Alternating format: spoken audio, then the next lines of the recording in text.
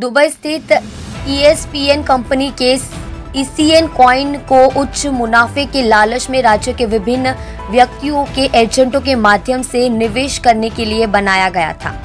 बाद में 17 करोड़ रुपए से अधिक की मनी लॉन्ड्रिंग के मामले में पुलिस ने मुख्य आरोपी को गिरफ़्तार कर जूनागढ़ पुलिस को हिरासत में सौंप दिया है। एजेंट के पकड़े जाने के बाद चोर पकड़ा गया। एजेंट किसान बुख्तरिया को कुछ दिन पहले गिरफ़्तार किया गया था। बाद में एजेंट की पूछताछ में पता चला कि मुख्य आरोपी सूरत में था।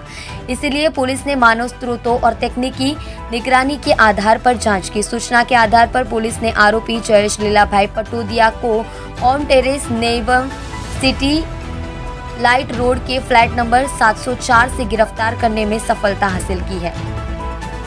आरोपी जयेश बीकॉम तक पढ़ता था और हीरा खिसता था। बाद में वह लोगों को क्रिप्टो में निवेश करने के लिए कहता था। यह जानते हुए कि उन्हें अच्छा फैसला, पैसा मिलेगा।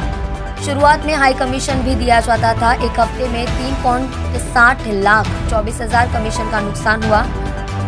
लोगों को योजना में निवेश के लिए आकर्षित करने के लिए महँगे होटलों में सेमिनार आयोजित किए गए थे। इन लोगों ने पूरे गुजरात के लोगों से और अन्य जगहों से भी अलग अलग एजेंटों के माध्यम से पैसे लेकर निवेश किया। था